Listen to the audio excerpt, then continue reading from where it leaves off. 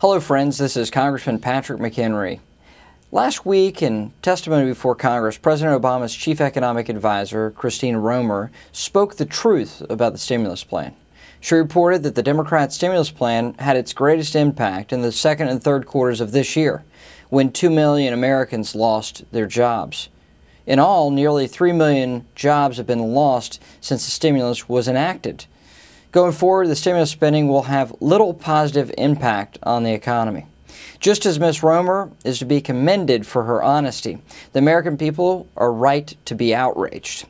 All we have to show for this boondoggle is enough red ink to weaken economic growth and keep unemployment high for a long time to come.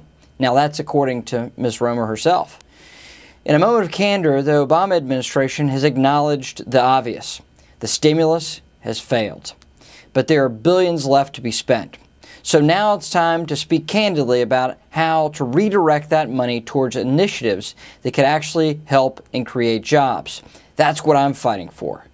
And thank you for listening. This is Congressman Patrick McHenry. God bless.